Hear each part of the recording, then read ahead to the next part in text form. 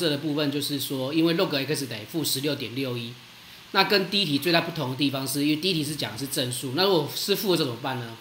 呃，解法是这样子的，哦跟刚才前面那题的概念差不多一样，就是说我要先把 log x 变成多少呢？变成的是负，注意看哦，变成是负十七加零点三九。这个会有个问题，就是我为什么不写成负十六减掉零点六一就好了，而却要变成加呢？原因就是因为当我写成科学记号的时候，相加代表相乘的意思，所以这里要一定要用加号，不能用减号。哦，所以像这边的话就是错的，就不建议，而且不是不是不建议，是不能这样做。你这样做的话，变成你最后解法变成是呃十的负十六次方，然后还要除上一个什么 log。呃，零点六一那样子，那样变太麻烦了。嗯。OK，所以我们写成是像这样子的形式，对。好，然后接下来呢，一样把这个写在前面，变成的是零点三九。然后呢，这里减十七的话呢，我把它改成多少？log 十。然后呢，它是负十七次方。嗯。这样子，OK。所以科学纪要的那个后面的部分，那个十的次方我已经处理掉了。那现在问题是零点三九的话，大概是多少？零点三九。好，那也是用刚才讲的类似的概念哦，一样。如果你会算的话，就是用相同的方法。呃，我也是用不同的颜色好了。呃，假设这个地方这个部分的话呢是三，然后这个部分呢是四，就是我讲的是那个它的 x 的部分。好，然后它所对应到的 y 呢是多少？就是三的话呢是多少？一样是哦，这个不用到，对不起，这个就不用到那个三了，你只需要到哪里到哪里就可以，你知道吗？你只需要找二跟三就可以了。为什么？因为它是零点三九，那 log 二的话是零点三零一。哦，log 三就四七七一了。对对对对对对对，所以我找我找出了它们介于那两个数之间就可以了，所以是零点三零一跟零点四七七一就好。哦。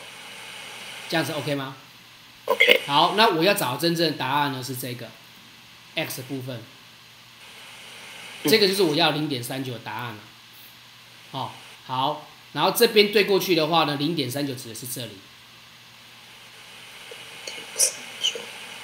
这样 OK 吗？OK。所以就像你讲的，它应该会成比例才对，就是三到二的那个间隔。对应到这个它的间隔会等于 x 到二，它到它。那当然你要写三减 x 也可以，没有人规定要用 x 减二啦。那只是说 x 减二对我来讲会比较好背。好，那我们开始写喽。所以先看一下，就变成的是呃三减二，有没有 x 减 x，然后 y 减 y，所以就是零点四七七一。零点四七七一。然后减掉零点三零一嘛。好，我算出来这是什么？应该是这样这样斜线的什么斜率吧？斜率。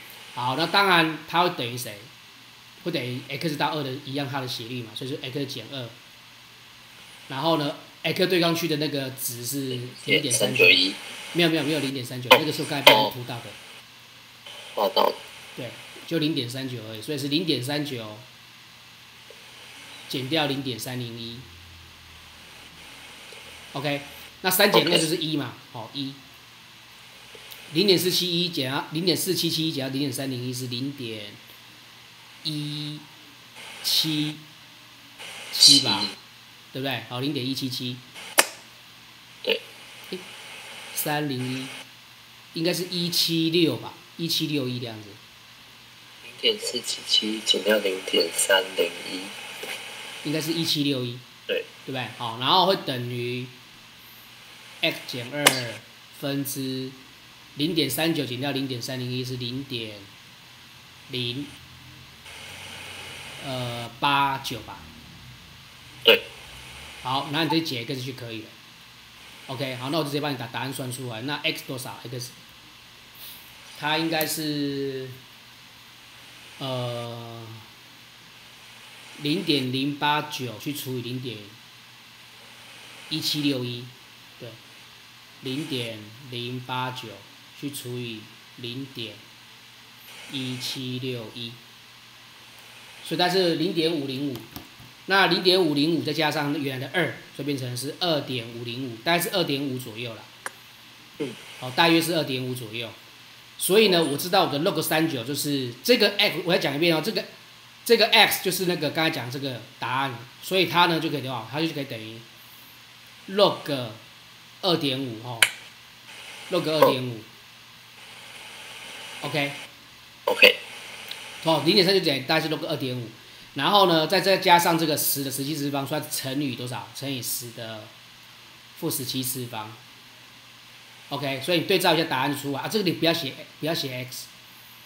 呃，我解释一下为什么不要写 x，因为题目里面已经有 x 了，所以建议你把它改成那个 y 比较好。哦。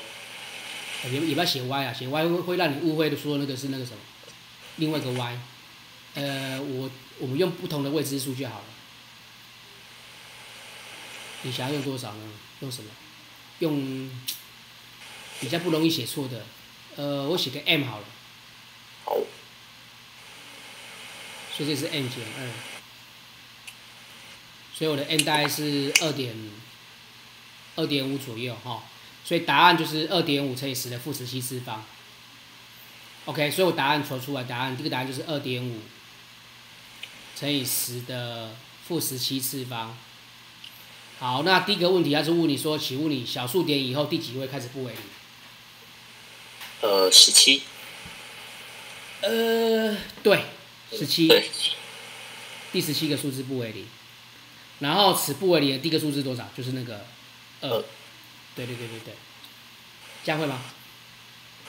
会，可以哈。